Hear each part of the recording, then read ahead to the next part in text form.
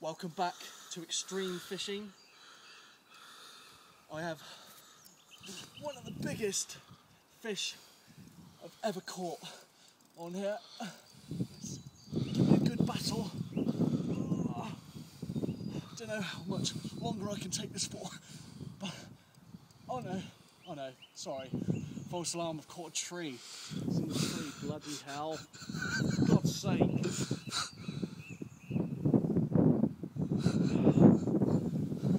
That's just the joy of fishing. You don't know what you're going to catch. See you next time on Extreme Fishing, Docky.